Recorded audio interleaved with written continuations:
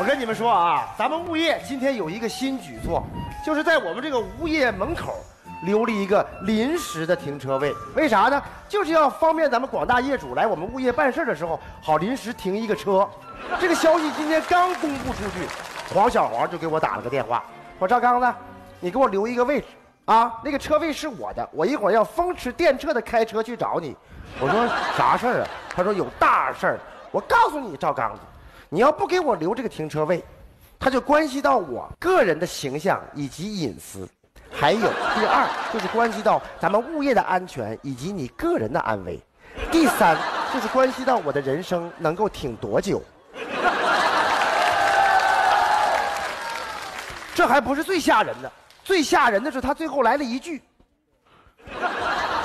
否则，嘟嘟嘟嘟嘟，他就挂电话了。”你这多吓人！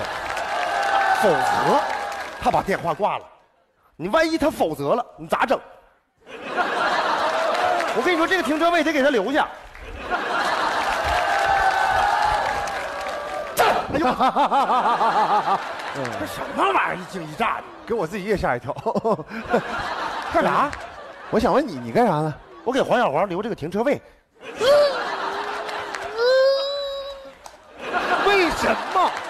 为什么我的爱情道路就像你的事业一样，一个坎儿接一个坎儿的？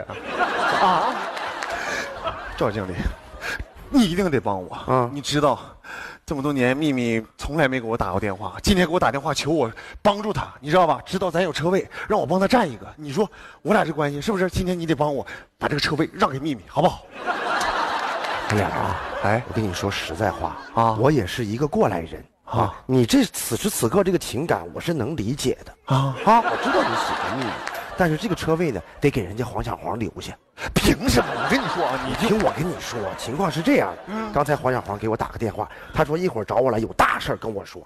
他说了，要不给他留这个停车位的话，这个事儿就能出喽。他说，第一，他影响我的形象以及隐私；第二，就是关系到社区以及我个人的安全。哎呦，第三，最关键的，他说了。关系到我的人生能够挺多久，而且他还说了，否则他就嘟嘟嘟嘟嘟，他就挂。你说否则他万一否则了，他能担得起这个责任吗？废了那样。对呀，所以这车位得给他留下，你说呢？啥也别说了，这个车位就留给黄小黄了。赵经理，我这么跟你说吧，我于小脸大义灭亲的事还是能干得出来的，你知道吧？啊。哎呀，好样的！我跟你说，好，你今天你可让我对你刮目相另眼看啊！什么玩意儿？我跟你说，你今天你这个脸，你一点都不小，你非常大，哎，啥意思？你？而且你这脸上现在冒油，油油，你自带油彩，好样的，啥意思？这就对了。我跟你说，我告诉你啊，就是要做一个正直的人，对吧？做好事儿。好好发展，不要辜负我对你的期待。是，就你这么干下去，在不远的将来，你就能当上副经理。哎呀，说这个话我心这个酸呐。你想想你，我当副经理了，咋的？你退休了啊？还有这么多年的，我就不能升一级吗？哎呀，忘了，我就一直干这副经理。忘了还有正，我就不能当个正经理？你当正经理？瞧你这，这得当正经理。哎，经理啊，我要当正经理。不是，那个，我田经理，你什么指示？嗯，好的，我马上去。好嘞，好嘞，好嘞，行，你放心吧，马上到。哎，快快快，我去了啊！哎，对了，那个，这个车位是谁的？黄小黄。哎呦，哎呀，一小脸，这，这，你干啥呀？你一惊一乍的。尊敬的业主黄小黄女士，请您验收你的车位。呀，训练挺有素啊！受谁指使啊？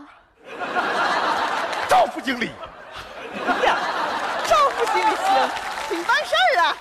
还挺办事儿，啥事儿我都知道了。刚才跟我说了，啥事儿？说你有重要的事儿啊，就是什么，哎呀，什么你什么隐私什么？啥隐私啊？什么反正安全，社区安全，他的安全，生命。总之这么说吧，就是你呀，后半生要是没有这个排位的话，基本就活不了了。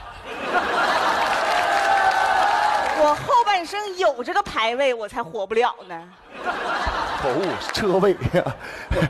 但是就是总结一句话吧，就是你需要这个车位，那是非常非常严重的，是吧？严重啥呀？啊？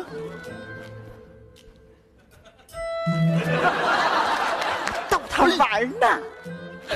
你我赵刚子，我不说严重点他能给我留车位吗？他的驴脾气一上来，什么人说话他听。哎，不是不是不是，不是我没明白。哎，你刚才说的那些什么，就是我我我我叨那是隐私，完没有的事儿，你的意思？我逗他玩呢，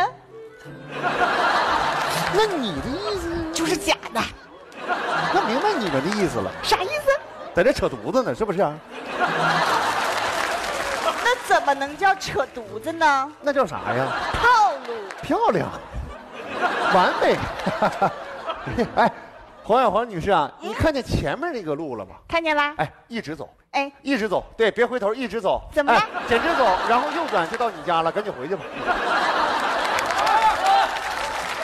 于小脸，你啥意思啊？哼没啥意思，我告诉你，这个车位不是你的了，现在这个车位是我的了。是你了？对的，那是赵刚子让你给我站的。错了，现在我于小脸儿是为正义而战的。行，行，那你告诉我正义是谁？这你正常点行不行？好谁不？正常了？你不正常。喂，秘密啊，啊我在车位这呢，你来吧，这个车位我给你占定了。好了，完美。行啊，啊啊！我不能占这个车位，你能给秘密占是不是？对呀，人家有正经事儿，你没有正经事儿啊。行，于小脸，你知不知道？你知不知道我跟赵刚子啥关系？俩给我摆造型了。你跟就是物业与业主的关系，嗨，不对，那啥关系啊？说不清的关系。